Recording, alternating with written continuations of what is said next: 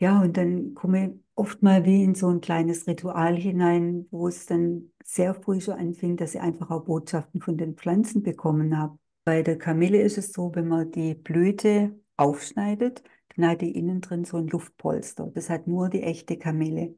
Und auf Mhm. einmal war ich ganz klein, diese Blüte ganz groß, es war die Hälfte da. Und die Pflanze sagte, steig ein, ich bring dich sicher ans andere Ufer. Hallo, ihr Lieben. Heute ist der beste Tag deines Lebens und ich freue mich ganz besonders auf die liebe Christel. Schön, dass du da bist, liebe Christel. Matthias, danke für die Einladung, freue mich sehr. Ich freue mich auch sehr.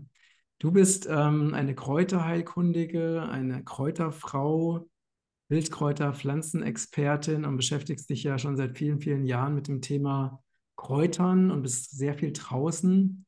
Äh, Wie bist du denn äh, zu diesem Weg gekommen? Äh, Gibt es ein Schlüsselerlebnis, also wodurch du dich äh, intensiv mit diesem Thema Wildkräutern beschäftigt hast? Ähm, also so ein Schlüsselerlebnis war letztendlich einfach eine Seelenverabredung mit meinem jetzt früheren Mann, Dieter Bärweiler. Wir haben uns im Jahr 2000 getroffen, kennengelernt und ja, und dann ging so eine Lebensreise mit uns beiden los und relativ schnell war aber klar, es ist wirklich eine große Seelenverabredung, wo es nicht nur in Anführungsstrichen um uns zwei Menschen geht, sondern äh, da darf Großes entstehen. Und so haben wir den Calendula Kräutergarten in Stuttgart gegründet. Mhm. Ja, und das war dann ab dem Jahr 2002 und ab dem Tag war ich eigentlich nur noch da draußen bei den Pflanzen mit den Kräutern. Es hat ein bisschen gedauert, bis der konventionelle Gemüsebetrieb mal umgestellt war, A auf Bio und B auf äh, immer mehr Heilpflanzen. Aber das war mein Weg und ähm, weißt, wenn du das tust, warum du hier bist und du spürst einfach, dein Herz schlägt so dafür und dein Körper, de deine ganze Zellen, alles hüpft vor Freude, weil du jetzt diesen Weg gehst, da gibt es kein Zurück mehr. Und da gibt es nur ein immer tiefer, tiefer, tiefer Einsteigen in die ganze Geschichte. Wir haben begonnen mit einer Teeproduktion. Ja, das geht, eigenen Tee anbauen im Neckartal. Das war auch so, wie was, der, der kommt von euch. Das geht doch gar nicht, dass man eigene Tee anpflanzt. Das war also damals noch was so ganz, ganz Spezielles. Später ging es weiter mit Tinkturherstellung und so fort und so weiter. Und für mich ist einfach, ich kann nicht rausgehen, einfach eine Pflanze abschneiden, abrupfen und mitnehmen. Das geht nicht. Nee, ich mache immer ein Antiritual mit der Segnung von Mutter Erde, der jeweiligen Pflanze. Ja, und dann komme ich oft mal wie in so ein kleines Ritual hinein, wo es dann sehr früh schon anfing, dass ich einfach auch Botschaften von den Pflanzen bekommen habe. Und ja, und dieser ganze Weg, wie gesagt, er ist immer größer geworden, weil es am Anfang so ein kleiner Trampelpfad war, wurde dann irgendwann so eine zehnspurige Autobahn, wo ich gemerkt habe, Mhm. es geht Mhm. gar nicht mehr anders und ich will auch gar nichts anderes mehr machen. Ah, das ist total schön zu hören, also dass sich das so erfüllt und dass du einfach so glücklich bist, weil du deinen deinen Weg und deine Aufgabe gefunden hast. Das wünschen sich ja auch sehr, sehr viele Menschen, dass sie genau dieses, dieses Gefühl, ne, des Angekommenseins in der eigenen Aufgabe erleben. Und ähm, ja, finde ich sehr schön, wie du das beschreibst. Und ähm, kannst du dich daran erinnern, als du das erste Mal diesen, als das erste Mal so ein Kontakt entstanden ist, dass wirklich eine Pflanze zu dir gesprochen hat? Kannst du uns da mal mitnehmen? Also der allererste Kontakt, der war schon ein paar Jahre vor dieser Zeit, bevor ich ihn Dieter kennengelernt habe. Aber das war alles so ein bisschen spooky für mich. Also ich, ich konnte damit noch gar nicht großartig was anfangen. Da war ich in einer riesengroßen Kräuterspirale. Es war neblig, es war trüb, es hat genieselt und außer mir war eigentlich überhaupt niemand dort. Und auf einmal habe ich aber ganz klar und deutlich äh, eine Stimme gehört, jemand, der spricht. Und irgendwann habe ich dann verstanden, dieses Etwas, dieser jemand, der spricht mit mir. Ich habe die Geschichte schon ein paar Mal erzählt und immer hoffe ich, dass ich mich tatsächlich eines Tages mal wieder daran erinnern kann. Was war es denn eigentlich? Ich weiß es nicht mehr. Es war damals die Erzengelwurz, die Angelika, aber ich weiß einfach ganz, das weiß ich noch, es ging darum, dass, es, dass ich praktisch wie an so einer Kreuzung in meinem Leben stehe und dass die Pflanzen mit mir Kontakt aufnehmen. Später ging es dann weiter natürlich im Kräutergarten Und ähm, also ein, eine war zum Beispiel die Kamille. Da stand ich dran, habe mein Ernteritual gemacht. Es war ein total schöner sonniger Tag. Und bei Ritualen habe ich immer erstmal die Augen zu und habe auch meistens so ein bisschen von der Pflanze so in der Hand, stellvertretend für alle Pflanzen, die gerade wachsen, für die Segnung. Und auf einmal habe ich so Bilder bekommen. Das war ein reißender Fluss, also keine Chance, über diesen Fluss drüber zu kommen. Ich stand hier und ich wollte aber drüber gehen. Und bei der Kamille ist es so, wenn man die Blüte aufschneidet, dann hat die innen drin so ein Luftpolster. Das hat nur die echte Kamille. Und auf Mhm. einmal war ich ganz klein, diese Blüte ganz groß, es war die Hälfte da. Und die Pflanze sagte, steig ein, ich bring dich sicher ans andere Ufer. Okay, bin eingestiegen und auf einmal war der Fluss ganz, still, äh, ganz ruhig. Wir sind ganz gemütlich darüber geschippert und auf der anderen Seite bin ich aus, ausgestiegen. Was war das für eine Botschaft?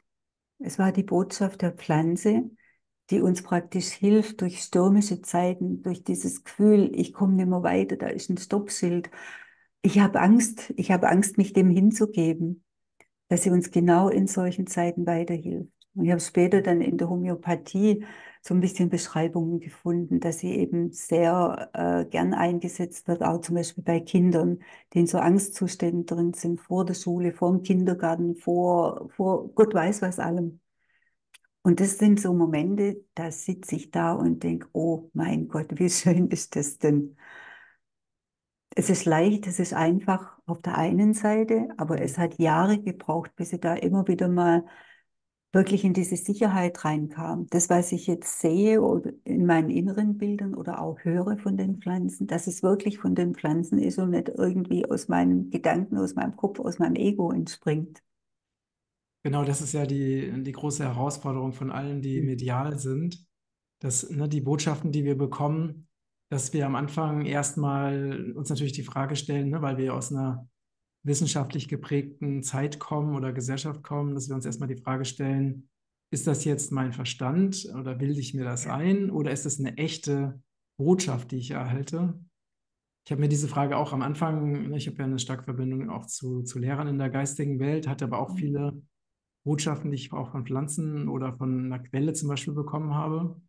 Und ich habe dann auch diese Frage gestellt, ob ich mir das einbilde. Und die Antwort, die, die ich damals bekommen habe, war, ähm, dass es keine Rolle spielt, weil am Ende nur die Botschaft und das Ergebnis zählt. Ne? Also das, und dann habe ich mich dem einfach so total hingegeben und dachte, ja, es ist letztendlich wirklich egal, wenn es eine Botschaft ist, die mich inspiriert, die mich beflügelt, die mich weiterbringt, die mir hilft, Mhm. dann ist es einfach perfekt, so wie es ist. Und ich muss mir jetzt keine Gedanken darüber machen, wo kommt es her? Ist Ja. es wahr? Kommt es aus meiner Seele? Kommt es wirklich von diesem Wesen? Aber das ist natürlich auch erstmal so ein, so ein Wachstumsprozess. Es ist ein Wachstumsprozess, es ist ein Lernprozess. Es, es geht auch ganz viel um Vertrauen in dem Moment. Habe ich das Vertrauen, dass das jetzt stimmig ist? Und mir hat dann immer wieder geholfen, es ist für mich jetzt stimmig. Das muss nicht für die ganze Welt und für tausend andere Menschen stimmig sein, aber für mich ist jetzt gerade stimmig. Mhm. Und so gab es dann irgendwann die Pflanze Karde. Alle, die vielleicht irgendwo äh, mit Borreliose infiziert sind und natürliche Wege gesucht haben, die sind sicher auch schon mal der wilden Karde begegnet. Mhm. Wir haben die damals im großen Stil angebaut für ein Institut.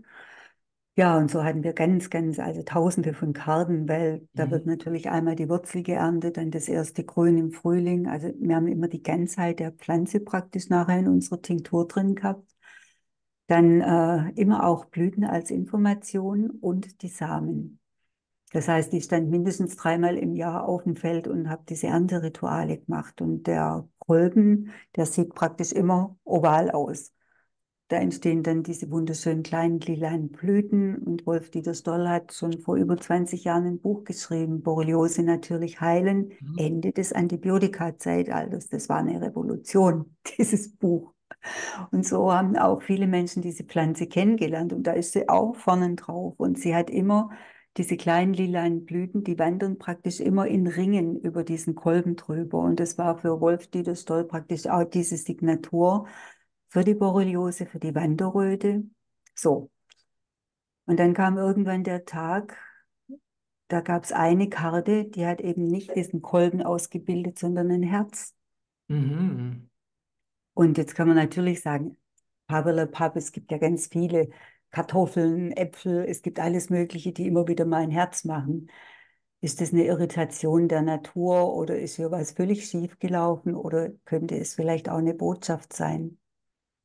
Und nachdem ich ja da schon viele Jahre mit der Karte unterwegs war, war das so, oh mein Gott.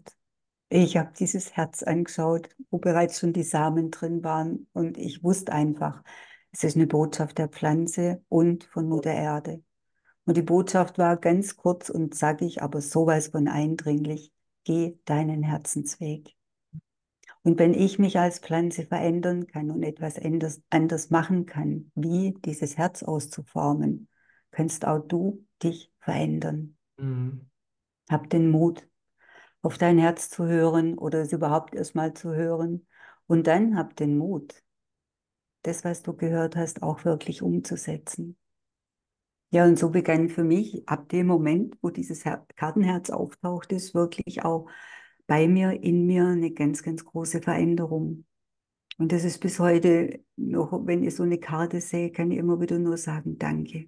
Mhm. Danke für diese Botschaft. Danke für all die Kraft und Energie, die du mir geschenkt hast, meinen Herzensweg zu gehen. Ja, das ist wirklich sehr, sehr schön. Also ich bin auch überzeugt davon, weil hm, wenn man jetzt so sich mit Heilpflanzen beschäftigt, auch weltweit, gibt es ja ne, also ein ganz großes Wissen darüber, wofür die Pflanzen da sind, ähm, was, wie man sie zubereitet, äh, welche Wirkungen sie haben. Und wenn man sich mal die Frage stellt, woher kommt denn dieses Wissen, Mhm. dann äh, bin ich mir sicher, dass eben auch in der ganzen Welt es immer Kräuterheilkundige gab oder Schamanen gab, die sich mit dem Wesen der Pflanze verbunden haben und die all diese Informationen ne, über die, das Wesen Ja, der Pflanze, über die Wirkung, über die Anwendung, die das eben diese Informationen erhalten haben und das dann weitergegeben haben. ganz genau. Also ich denke mal, auch wenn man heute noch zu irgendeinem wirklich noch Naturvolk in in Regenwald kommt oder auch in Afrika und man würde denen was von äh, Saponinen, Flavonoiden und sonst was erzählen und dass die uns heilen. Ich glaube, die Menschen, die würden uns völlig verwundert anschauen und sagen, wie? Das ist da alles drin. Es ist der Geist der Pflanze. Es ist der Geist und das Wesen der Pflanze, das dich letztendlich heilt. Hm. Ja, das sind ganz, ganz viele verschiedene Ansichten, aber das war auch immer wieder meine Überlegung. Woher wussten die Menschen das schon vor Tausenden von Jahren? Dass eine Pflanze jetzt, äh, ich nehme jetzt auch einfach mal den Beifuß, dass es zum Beispiel eine ganz große Pflanze in der Frauenheilkunde ist. Mhm. Mhm. Ein Beifuß gehört zu der Artemisia-Familie und die wächst eigentlich weltweit, außer an den Polen in der Wüste, aber an, in fast allen Ländern kommt es vor. Und fast alle Heiler, Schamanen, ähm, Heilkundige in diesen Ländern, die verwenden seit Tausenden von Jahren den Beifuß für Räucherungen, für Reinigungen. Schamanen, die praktisch von ihrem Kranken, der ihnen jetzt gerade gegenübersteht, oder liegt, sie reinigen damit die Aura, indem sie es räuchern. Mhm. Und sie reisen auch mit dieser Pflanze in die Anderswelt, um Mhm. dort diesem Wesen der Krankheit zu begegnen. Und jetzt guckt man praktisch, wo, wo ist praktisch diese Synapse, wo das ineinander einrastet. Und ich sage jetzt aber auch nicht rein, nur das Pflanzenwesen kann dich heilen. Weil dieses etwas, egal wer, ob das jetzt ein Arzt ist oder was auch immer, kann dich heilen. Die Heilung, die findet in dir selbst statt, durch deine Öffnung des Herzens, durch deine Öffnung für, ich bin bereit für die Heilung. Und wenn wir dann auch noch bereit sind, vielleicht so ein bisschen hinzuschauen, ja, was sind denn jetzt eigentlich die Hintergründe? Weil für mich ist jede Erkrankung, und wenn ich hier rausgehe, die Stufen runterfall äh, und mir das Bein breche, ist letztendlich eine Botschaft der Seele. Eine Botschaft, wo es darum geht, dass ich verstehe, wo bin ich gerade falsch abgebogen oder was möchte meine Seele mir mitteilen. Und da geht es auch wieder darum, kann ich diese Botschaft wahrnehmen? Und so wussten auf jeden Fall die Menschen weltweit in allen Völkern, dass Beifuß eine ganz große Pflanze ist in der Frauenheilkunde. Selbst bei uns im Mittelalter haben sie früher Abtreibungen mit dem Beifuß gemacht, weil er einfach ganz, ganz stark die Gebärmutterreinigung anregt. Er wurde zur Geburt mit dazu verwendet, um die Geburt zu erleichtern. Ja, und so gibt es einfach ganz viele Dinge, wo man sich immer nur wundern und staunen kann. Wie kommt dieses Wissen hierher?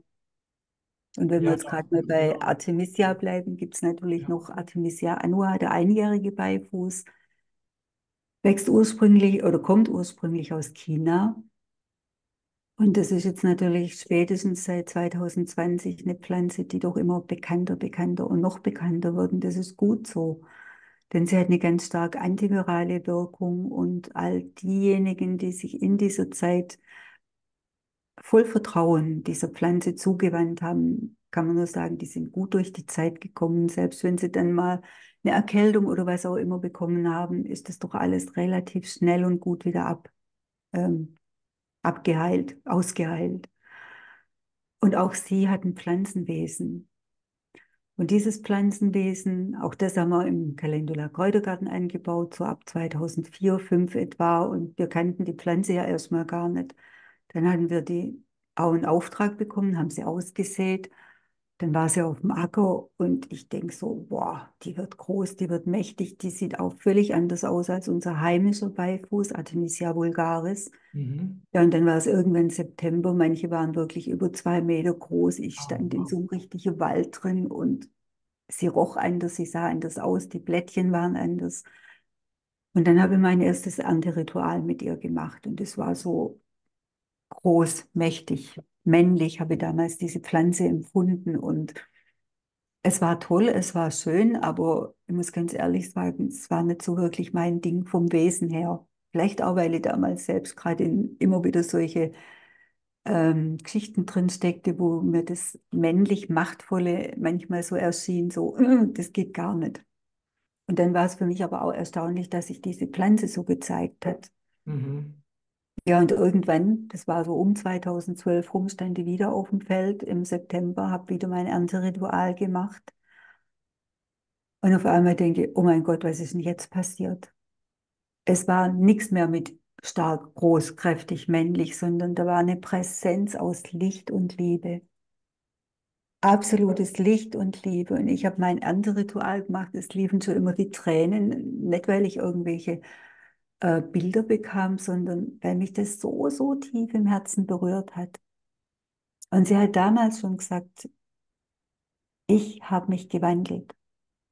Sie hat es zu mir gesagt. Also ob das jetzt tatsächlich so ist, dass immer an dem Punkt, wo wir vorhin gesprochen haben, ich weiß nicht, ob es die Wahrheit ist, aber ich habe von ihr diese Botschaft bekommen, ich habe mich gewandelt. Und das, was du jetzt in mir fühlst, das ist die neue Zeit. Und ich bin hier, um euch Menschen durch diese Wandlungszeit zu begleiten. Das heißt, sie hat ihre Energie verändert von, von diesem Ja, Wesen hin zu diesem absolut lichtvollen Wesen. ja. Und natürlich war das eine Zeit, wo, wo, wo es hieß, ja, und jetzt äh, verändert sich sowieso alles von dem, was jetzt seit 2020 ist, die ganze Corona-Zeit, wusste damals noch kein Mensch irgendwas. Ich habe halt gedacht, okay, das ist dieser große Zeitenwandel. Verstanden hatte ich das eigentlich erst ab 2020.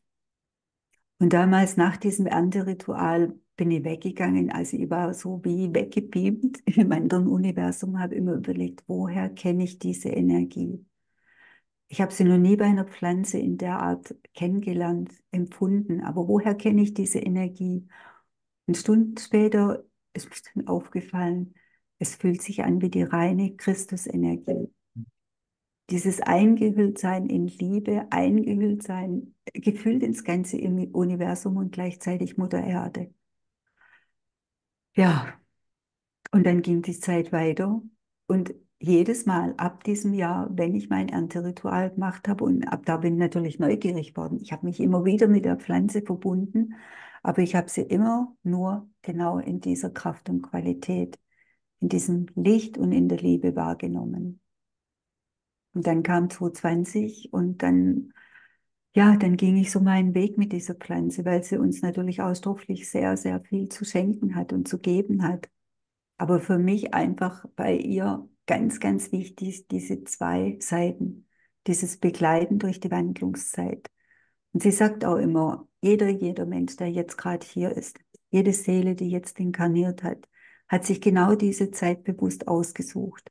Und jeder von euch Menschen trägt diesen Samen des Bewusstseins für die neue Zeit in sich. Da gibt es einen Teil in euch allen, die ihr jetzt hier seid. Ihr wisst genau, wie sich die neue Zeit anfühlt und ihr habt Sehnsucht danach. Und das ist das, warum ihr da seid. Ja, das ist echt wunderschön. Ja. ja. Das heißt, kann man sagen, dass das so die Pflanze ist, mit der du den tiefsten äh, Kontakt ähm, hast? Oder die tiefste ja. Verbindung? Mhm. Ja, wunderschön. Also mich Pflanzen, äh, faszinieren Pflanzen natürlich immer wieder auf ganz, ganz verschiedenen Ebenen. Und es kommt immer wieder mal ein neuer Kontakt oder ein Kontakt, der auf einmal wieder viel, viel stärker ist mit einer Pflanze. Aber weiß mir ist vor allem bewusst geworden, als ich 2021, es war glaube Februar oder März, bin ich morgens aufgewacht und dann war ganz klar da, mach einen ähm, Kongress Medizin der Erde nur zu dieser Pflanze. Und die Botschaft von diesem Pflanzenwesen, die war so klar, so eindeutig, so groß, dass ich bloß nur so, oh, ich lag in meinem Bett, ich war hellwach. Und gleichzeitig mal wieder so wie weggeschossen in ein anderes Universum. Das heißt, du hast diese Botschaft auch bekommen, also nicht direkt mit der Pflanze. Ja, überhaupt nicht. Ich, ich, war nicht in diesem mhm. bewussten Kontakt drin, sondern ich bin aufgewacht. Ich habe auch keine Ahnung mehr, was ich vorher geträumt habe. Und dann habe ich erst gedacht, okay, es ist eine Ehre. Und ich wusste ja, diese Pflanze und ich, wir haben eine Verabredung. Wir haben wirklich eine Seelenverabredung hier für dieses mein Leben. Aber dass das dann so weit geht, dass ich so klare Botschaften, so fast Anweisungen bekommen habe, das begann eigentlich erst in dem Moment. Mhm. Und erst war so die ganz große Freude in mir, so, oh ja, das mache ich. Und nur zu, nur zu dir, nur zu dieser einen Pflanze, ja, einen kleinen Kongress, aber nur zu Artemisia annua. Und nach drei Tagen ließ die Freude und diese Begeisterung nach und ich habe gedacht, oh mein Gott, Christel, weißt du eigentlich, was du dich einlässt? Was da politisch alles sein kann. Und weißt du, da ist ein Szenario in meinem Kopf abgegangen und dann sperren sie dir deine Videos und dann fliegt der ganze Kongress durch den Wind und überhaupt. Das, und dann war aber klar, ich habe mich hingesetzt und habe gesagt, Artemisia Anua, wenn es wirklich sein soll und ich diesen Kongress mache, dann brauche ich von dir alle, alle Unterstützung. Bitte halte mir den Rücken frei und ebne mir den Weg, dass ich es tun kann. Ich gehe den Weg, aber ich brauche deine Hilfe. Und in dem Moment kam wieder dieser absolute Schauer über mich und durch mich hindurch von diesem Licht, von dieser Liebe. Und ich wusste, okay, dann gehe ich jetzt los. Und der Kongress, es war, es war schon sehr speziell. Ich hatte zwölf Sprecher im ersten Kongress äh, aus auch verschiedenen Ländern, Menschen, die zum Teil seit Jahrzehnten mit dieser Pflanze in Afrika mhm. unterwegs mhm. sind, äh, die nicht nur darüber erzählen, das, was sie irgendwann mal gelesen oder gehört hatten, sondern die hatten das hautnah in ganz vielen Jahren dort erlebt, wie Menschen mit Malaria in ein ähm, Hospital getragen wurden, weil sie schon immer laufen konnten, hochfieberten den wurde dann erstmal ein Lidate Misiano AT eingeflößt und am nächsten Tag, das Fieber ging runter. Viele konnten nach drei Tagen die Klinik wieder verlassen. Und das sind halt Dinge, was meine Älteste damals, die Hannelore Klabes, die war damals schon, wie alt war sie? 92 Jahre alt die praktisch ab der Rente, wo sie offiziell in Rente ging, sozusagen wirklich in den Unruhezustand ging und eigentlich, mhm. sie sagt immer, mein wirkliches Leben hat erst dann begonnen, dass ich zufällig Hans-Martin Hirt begegnet bin, zufällig dann nach Afrika ging und einfach auch diesen großen Ruf der Pflanze gehört habe. Und das sind Dinge, die berühren dich so, so tief wenn Menschen einfach den Mut haben, ihrer Vision zu folgen mhm. und spüren, ich habe nicht nur eine Vision, ich habe eine Mission hier auf der Erde. Und ähm, sind denn die, die Erfahrungen der Menschen, die auch in deinem Kongress waren, sind die denn ähnlich, also da, ähnlich zu deinen Erfahrungen mit der Pflanze? Also ich habe da äh, über das Pflanzenwesen haben wir eigentlich seltenst gesprochen, sondern es ging hauptsächlich um die stoffliche Wirkung. Mhm. Mhm. Aber so Menschen, die einfach, äh, ja, natürlich, es waren Tausende von Menschen beim Kongress dabei und dann ging es ja auch darum, boah, ich will diese Pflanze haben. Kaufen konnte man sie natürlich nicht überall, weil sie ja immer noch diesen Regelungen unterworfen war. Aber man konnte sich die Samen holen, man konnte sie aussehen und ja, sie wächst bei uns daheim im Töpfchen im Garten. Eine befreundete Gärtnerei vom äh, der Klaus Umbach, die haben in Absprache mit mir, weil ich habe gesagt, Klaus, wenn wir das machen, ganz, ganz viele Menschen möchten die Pflanze haben. Und ich, ich möchte nicht nur über irgendwas sprechen, wo jeder dann mit einem enttäuschten Gesicht da sitzt und denkt, ja, ist ja alles toll, aber ich kann es ja nicht haben. Da sind wir ja wieder im Mangel, was uns ja alles aber nicht gut tut. Mhm. Und ja, er hat dann ähm, ausgesät und so konnten die Menschen dann die Töpfchen kaufen. Und da ging, da ging eine kleine Welle bis hin zu einer kleinen Revolution der Selbstversorgung los. Selbstversorgung auf einem ganz anderen neuen Level nochmal. Nicht nur mit Kartoffeln und Gemüse und Salat, sondern hier fing wirklich so die Welle an der Selbstversorgung. Ich kümmere mich gut um mich, meine Gesundheit und die Gesundheit meiner Familie. Mhm. Und ich habe dann immer wieder Mails gekriegt, noch lang nach dem Kongress, du, ich bringe niemand mehr Rosen oder einen Blumenstrauß mit. Ich bringe den Töpfchen Artemisia nur mit die Zaga. genau so war die Idee, war der Plan. Einfach das Wissen um diese Pflanze nach draußen zu bringen. Was dann jeder draus macht, ich sage immer, ich kann nur die Samen weitergeben. Was ihr draus macht, ist eure Geschichte. Mhm. Aber solange ich nichts davon weiß, kann ich ja auch nicht entsprechend agieren. Ja. Und ähm, die, du hast von den stofflichen Wirkungen äh, gesprochen. Kannst du da ein bisschen näher drauf eingehen? Wir wissen einfach, dass sie eine ganz stark antivirale Wirkung hat, antibakteriell. Sie wirkt gegen Parasiten. Das war ja auch damals dann der Grund, warum wir sie angepflanzt haben, in der, speziell in der Borreliose-Therapie. Also Parasiten, ganz großes Thema und so natürlich auch dieses, warum wirkt sie überhaupt bei Malaria? Weil sie diese starke Wirkung hat. Es gibt einen Stoff, der gut und gründlich erforscht ist, das ist das Artemisinin. Aber für mich ist halt ein Stoff in so einer großen Pflanze. Aber die Industrie hat damals begonnen, diesen Stoff zu isolieren, hat daraus dann Präparate hergestellt, einmal gegen Malaria, aber auch bei der ähm, Behandlung von Krebs. Mhm. Aber es ist halt immer, wenn du aus der Natur einen Stoff entnimmst, der eigentlich zu so einem großen Ganzen dazugehört, dann fehlt dieses große Ganze und du hast nur diesen einen Stoff. Dieses Artesonat hat natürlich auch eine Wirkung gehabt oder hat es auch heute noch. Mhm. Aber man weiß inzwischen, dass es genügend Resistenten, Resistenzen drauf gibt, gerade in Afrika, wenn dieses Medikament verabreicht wird. Das hat eine Wirkung, aber dann tritt die Resistenz auf und das heißt, es ist ewig schade. Auf Artemisia annua gibt es keine Resistenzen. Mhm. Also auch viele Menschen, die das seit Jahren in Afrika trinken, um sich vor Malaria zu schützen, denen geht's gut, denen geht's wunderbar damit. Ja, das ist ja auch ein Grundproblem der, der heutigen Wissenschaft, ne? Dass eben das Leben nicht als ganzes Lebendiges betrachtet wird, sondern dass alles isoliert betrachtet wird.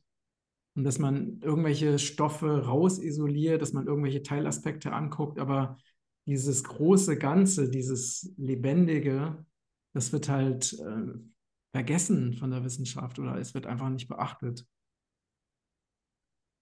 Es ist, ja, es ist heute einfach ein ganz, ganz anderes Denken. Und ich denke, eins ist sicher so ein ganz wirtschaftlicher Grund. Ich kann kein Patent auf eine ganze Pflanze anmelden. Aber wenn ich anfange, Wirkstoffe zu isolieren, da draußen Medikament mache, dann kann ich ein Patent anmelden und dann ist das sozusagen meins. Und das kann mir niemand mehr wegnehmen. Aber mit einer ganzen Pflanze funktioniert das einfach nicht. Und da gibt es ja heute viele Beispiele, auch ähm, Johanniskraut zum Beispiel, wo auch das Hyperizin dann hochkonzentriert in irgendwelche Kapseln und Dragés verpackt wird. Dann haben wir die ganzen Warnhinweise drauf, äh, ja, nicht in die Sonne gehen und auch nicht in die Sonnenbank und was weiß ich was. Das kann dies, das, jenes an Schäden hervorrufen. Das ist dann, wenn es isoliert ist. Da haben wir einfach diesen einen Wirkstoff, der dann sozusagen nicht nur wirkt, sondern manchmal wirklich ein Unwesen im Körper treibt. Und dann kommen Dinge zustande, die, die, die wird es so einfach gar nicht geben. Naja, und dann passiert ja wieder sowas, dass dann diese Pflanze insgesamt dann als, als schädlich ähm, bewertet wird, ne? von Behörden zum Beispiel. Also Stichwort Johanniskraut zum Beispiel. Ne? Ganz genau, ganz Mhm. genau. Mhm. Ja, und dieses Wesen, das eben nicht mehr mitschwingt, ist absolut richtig, die, dieser Gedanke. Und das ist einfach so eine ganz andere Herangehensweise. Aber ich in mir bin einfach so, so sicher, dass wir in den nächsten Jahrzehnten, Jahrhunderten uns immer, immer mehr wieder zurück zu unserem Ursprung entwickeln, so wie wir ganz am Anfang gesprochen haben über die Heiler und Schamanen weltweit, dass die sich ja auch praktisch mit dem ganzen Pflanzenwesen verbunden haben. Und da geht es auch für uns wieder hin. Und ich denke, irgendwann in, ja, in absehbarer Zeit brauchen wir stofflich gar nichts mehr von der Pflanze, sondern es reicht unsere mentale Verbindung, unser, äh, ich habe gerade kein Wort dafür, aber vielleicht spürst du, was ich denke. Ja, ja, ja, also ich denke, dass ähm, ne, also die, die Lebenskraft aus der Natur ne, und die verschiedensten Variationen davon, die verschiedenen Pflanzenwesen, die haben ja die Aufgabe, uns mit unserer Essenz zu verbinden und wieder in die, also uns praktisch die Information zu geben, die uns fehlt, um wieder in diese, in diese Ganzheit zu kommen. Und ich denke, ne, und da, das erinnert mich auch noch an diese, diesen Einsatz, den du vorhin auch mehr zu Beginn des Gesprächs gesagt hast, dass halt die Heilung dann passiert, wenn die Menschen sich dem Wesen der Pflanze öffnen oder wenn sie ihr Herz öffnen. Aber es ist ja sogar so, dass auch Heilung passiert für Menschen, die sich nicht unbedingt damit ne, dafür öffnen oder die auch noch nicht mal daran glauben. Also ich habe sehr viele Beispiele erlebt, auch von Menschen, die unsere, ne, zum Beispiel unseren Regenwaldtee ähm, ne, angewendet haben und auch nicht daran geglaubt haben, dass das irgendwie funktioniert und dann richtig sehr erstaunt waren, was alles passiert ist ne, an Heilung. Das heißt, teilweise passiert das, also funktioniert es ja auch, ohne dass die Menschen daran glauben. Ne? Ja, aber, ich gebe dir absolut recht. Es ist anders, wenn du dich bewusst dafür öffnest, dann hast du einfach nochmal, oder hat dieses Wesen praktisch nochmal auf ganz anderen Ebenen zu mir Zugang. Mhm. Aber wenn ich das nicht tue, ist trotzdem eine Wirkung da. Ja, ja. Mir ist jetzt gerade noch eins eingefallen, die Lebenskraft der Pflanzen, die sie uns schenken. Das hört sich für manche Menschen sowas von esoterisch, spirituellen, total abgehoben an. So nach dem Motto ist doch alles Pappelapapp. Aber ich denke mal, jeder kennt einen Löwenzahn. Und jeder hat sicher auch schon mal draußen gesehen, du läufst irgendwo und da wächst so ein großer Löwenzahn aus dem Asphalt raus. Mhm. Mhm. Und das ist kein Pillepalle und das ist auch keine Fotomontage. Nein, so sowas begegnet uns da draußen real life echt. Was befähigt diesen Löwenzahn, Asphalt aufzubrechen? Mhm. Ist es die Kraft seiner Wurzel? Der Same, der, der ist jetzt irgendwann vielleicht vor einem halben Jahr dorthin gefallen, hat sich in einer ganz, ganz kleinen Nische angesiedelt. Er kriegt ab und zu mal ein bisschen Regen ab, aber da ist weit und breit keine Erde. Aber dieser kleine Same hat sich entschlossen, hier ist mein Platz und hier werde ich wachsen. Er lässt ganz kleine Wurzeln wachsen, die sich einfach mal durch diesen Asphalt nach unten bohren. Man kann Mhm. wirklich sagen, bohren. Und irgendeine Kraft außer dem Wasser lässt diese Wurzeln wachsen. Und die haben so viel Lebenskraft, dass die praktisch beginnen, so diesen Asphalt zur Seite zu drücken. Und es schiebt sich diese Pflanze nach oben. Mhm. Welche Kraft wirkt hier? Das ist genau dieselbe Kraft wie wir denken und denken und denken. Aber kein Wissenschaftler hat jemals diesen Gedanken unter dem Mikroskop angeschaut. Das ist diese Lebenskraft, diese Mhm. göttliche Mhm. Kraft, die eigentlich alles ins Leben ruft, am Leben hält und alles miteinander kommunizieren lässt. Mhm. Und wenn wir mal aus dieser Sichtweise uns das Ganze betrachten, dann können wir die Wissenschaft mal kurz auf die Seite legen und uns sozusagen der Magie des Lebens hingeben. Mhm. Ja. Ja, das hast du wirklich sehr, sehr schön gesagt. Und, und was man sich halt auch immer wieder bewusst machen sollte, ist, es wird ja, ne, also sag mal, vom, von den herrschenden Schichten aus, ne, sei es, ob es ähm, im Mainstream ist oder auf Wikipedia oder sonst wo.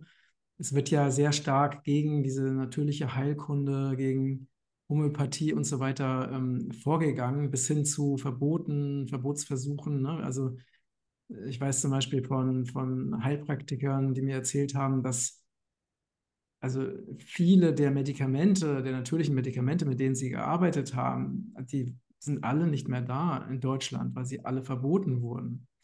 Na, und wenn man sich mal die Frage stellt, warum wird das denn gemacht? Und die einzige Antwort ist, es geht um sehr, sehr viel Geld. Weil das ist natürlich, na, stell dir vor, du hast irgendwo ein teures Medikament, dann hast du aber eine, eine lebendige, machtvolle Pflanze, die noch dazu nicht viel Geld kostet, aber viel wirkungsvoller ist. Was, was bedeutet das für die Pharmaindustrie? Und das ist der Hintergrund. Und deswegen wird halt auch immer wieder behauptet, ne, also so, das wirkt nicht, das ist alles Einbildung und so weiter, weil da stehen, das ist natürlich, die wissen natürlich selber, dass es nicht wahr ist, aber es geht halt darum, sich diese unliebsame ähm, Konkurrenz ähm, vom Hals zu schaffen. Das ist der Hintergrund. Und deswegen wird das ja überall unterdrückt und bekämpft. Ne? Und ja. deswegen darfst du auch bestimmte Äußerungen nicht machen oder musst sehr, sehr vorsichtig sein, darfst Wirkungen nicht beschreiben und so weiter und so fort. Weil das, na stell dir vor, die Menschen würden sich einfach einen Tee kaufen. Tee, der vielleicht 5 Euro kostet oder keine Ahnung. Ne? Also oder sie würden es einfach im Garten aussehen oder im, auf dem Balkon in Töpfchen. Ja. ja. Würden das womöglich noch selber ernten und sich das alles selbst zubereiten. Mhm. Das ist mein, warum ich hier bin. Mhm. Ich verkaufe keine Produkte. Okay, aus Malda-Essenzen, aber das wieder was ganz anderes. Aber ich verkaufe keine Kräuterprodukte. Ich möchte einfach nur weitergeben, wie man sich das alles selbst zubereitet und ja, diese Hilfe zur Selbsthilfe. Weil was, was war denn das Schlimmste 2020 für die meisten Menschen? Diese unsägliche Angst von, was kommt da auf mich zu? Es kann mich jede Sekunde erwischen. So wurde uns das ja propagiert. Mhm. Nicht alle haben es geglaubt, aber sehr, sehr viele. Wenn ich jetzt weiß, da gibt es eine Pflanze und die kann ich einfach jeden Tag essen, wie Artemisia annua, oder ich trinke einen Tee draus, da gibt es den Zystus, da gibt es so, so viele andere Pflanzen, die da alle noch mit dazu reinspielen dann habe ich ein starkes Immunsystem, weil es ist ja nicht der böse Virus oder das böse, der böse Parasit, sondern es geht ja darum, was fehlt meinem Körper, dass er das nicht abwehren kann. Mhm. Mhm. Ist ja auch bei jedem Heuschnupfen, da schimpfen wir über die bösen Pollen, die da draußen fliegen, die sind es aber nicht. Was ist in meinem Körper so schwach, dass mein Körper praktisch die natürlichen Kräfte der Natur umdreht und mich in eine Krankheit wirft? Mhm. mhm. Also da dürfen wir immer wieder ein bisschen umdenken und es anders sehen.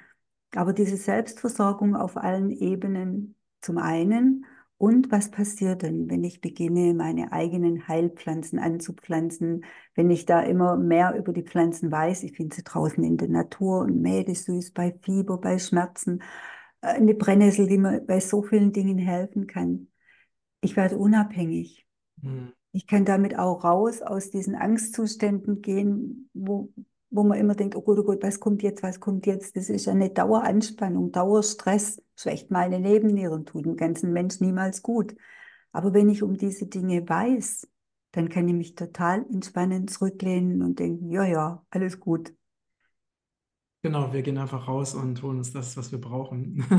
Ja. Ja, ja, sehr, sehr schön. Das ist ja schön auf den Punkt gebracht. Und natürlich, klar, ne? Also nicht jeder hat immer die Möglichkeit, das passende Kraut direkt da zu finden, wo er gerade sich aufhält. Gerade wenn man, was weiß ich, in anderen Regionen ist oder wenn man in der Stadt ist oder so. Und da gibt es natürlich ja auch, ähm, auch fertige Dinge, also ne, die man auch zu sich, die man auch kaufen kann, äh, die man auch zu sich nehmen kann. Also nicht jeder muss jetzt alles selber sammeln, aber Ja. es ist auf jeden Fall ein, ein toller Weg, ne? Also immer mehr in diese Richtung zu gehen und auch, dass wir uns eben immer mehr mit der, mit unserer Mutter Erde in Liebe verbinden und uns daran erinnern, dass wir ja immer Teil dieses wundervollen Wesens sind, auch wenn wir das teilweise vergessen. Aber dass wir immer untrennbar mit, mit unserer Erde verbunden sind. Und auch wenn wir das nicht bewusst wahrnehmen, wir mit allem versorgt werden von ihr, was wir brauchen, mit Wasser, mit Nahrung, mit frischer Luft, mit der Erdenergie. Das ist so schön, Matthias. Und das ist jetzt dieser, dieser Gleichklang bei uns beiden, weil genau so bin ich unterwegs. Und ich denke letztendlich, je mehr wir Menschen uns daran erinnern, dass wir wirklich eins sind mit Mutter Erde, eins sind mit dem Kosmos, eins mit allem, was da ist, desto größer wird auch der Frieden in uns und das Mhm. Vertrauen und die Entspannung, Entkrampfung. Das steht natürlich auch in vielen äh, Beschreibungen von Pflanzen, wirkt entkrampfend, Mhm. entspannend. Aber all das führt ja dazu, dass es mir als Mensch immer besser geht. Ja. Und je, je klarer mir einfach bewusst ist, vom Herzen her, ich bin verbunden mit Mutter Erde.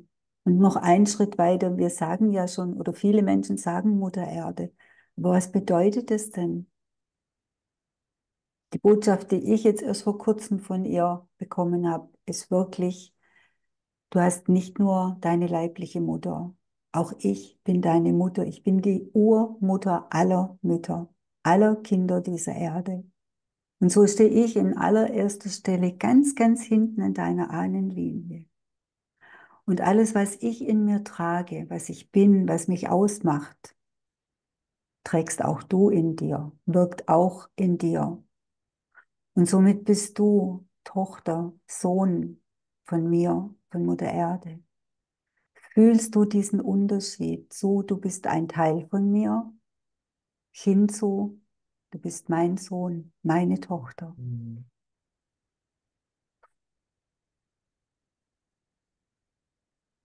Mhm. Vielen, vielen Dank, dass du das mit uns geteilt hast. Sehr, sehr gerne. Mhm. Ja, dann muss man eigentlich das äh, Video jetzt abschließen, weil es einfach, weil es einfach, ja, dem nichts hinzuzufügen gibt. Danke dir von Herzen. So gern. Ich danke dir, Matthias, und auch für deinen Weg und für dein Dransein und schön, dass wir uns hier begegnet sind. Mhm. Ich hoffe, dass wir das mal live nachholen. Ja, Ja, danke dir auch für, dass du dieses Wissen, dieses uralte Wissen wieder in die Welt bringst. Ähm, ja, danke für deinen tollen Einsatz und ihr Lieben, danke fürs Zuschauen, fürs Zuhören. Teilt gerne diesen Beitrag, wenn er euch gefallen hat, auf allen Kanälen. Schaut gerne auch in die Beschreibung, dort sind auch spannende Angebote für dich und ähm, ja, vergesst nicht, diesen Kanal zu abonnieren, falls ihr es noch nicht getan habt. Danke für eure Unterstützung und einen wunderschönen, heilsamen Tag für euch. Alles Liebe. Danke, liebe Christel. alles Liebe. Danke. Tschüss.